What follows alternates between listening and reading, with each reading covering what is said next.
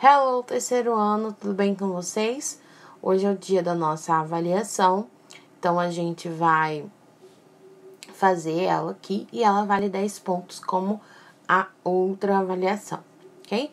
Avaliação, então, sobre a nossa última unidade estudada, a unidade 8.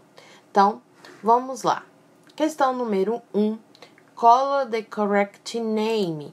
Então, nós temos a imagem de três é, Places of the City, né? Que foi o que a gente está estudando. E aí vocês vão pintar o nome correto dessa imagem. Então, tem três nomes aí do lado. Você vai pintar aquele que é o nome em inglês desse local, ok? Question 2. É a mesma coisa, temos mais três lugares e aí vocês vão pintar. Aqui vou tirar uma dúvida. A palavra station, né? É como se fosse estação, né? Então a gente pode usar isso como bombeiro, como policial, como correio, né? É, é, no inglês se usam essa palavra de station, ok? E aí a question 3, a mesma coisa, mas temos agora quatro e imagens, ok? E aí vocês vão pintar a imagem correta, tá bom? É, question 4. A question 4, aqui a gente tem é, 12 imagens, 12 desenhos e aqui o nome delas ao lado. Então, no círculo, eu vou colocar o número correspondente. Então, no número 1 um, vou colocar no hospital, número 2 no parque, número 3 no bus stop e assim até chegar no número 12, ok? Lembra aí que a tia falou station, né? Que seria estação, a tradução literal seria estação, tá? É, question 5. A question 5, as palavras aí, essas quatro palavras, elas estão embaralhadas e vocês vão ter que colocar elas nas ordens corretas. Então, que palavra é essa aí da letra A, da letra B, da letra C e da letra D? Uma dica são palavras que a gente aprendeu na unidade 8. Então, são palavras de places of the city. Então, de locais que a gente vê na nossa cidade.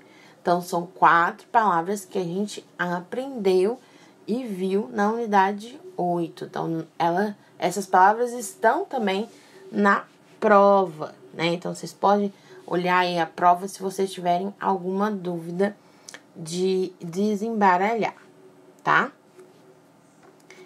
Question 6, então, e 7, a gente vai fazer a parte das prepositions que a gente viu semana passada.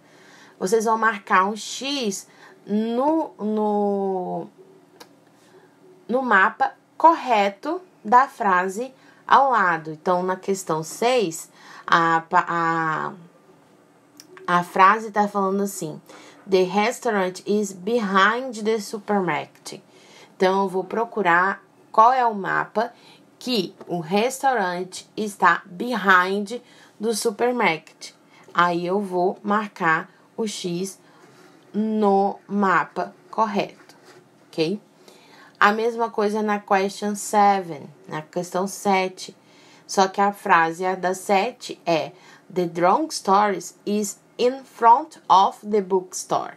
Então, eu vou marcar o X no mapa em que a drugstore está in front of the book store, ok?